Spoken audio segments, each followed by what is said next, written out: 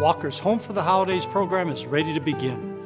And this year, we're filling 30 homes with furniture for those in need. If you know a family or individual in need, please write a letter explaining their situation and send it to me. Larry Altwitz, Walker Furniture, 301 South Martin Luther King Boulevard, 89106, or visit the Walker website to submit your letter.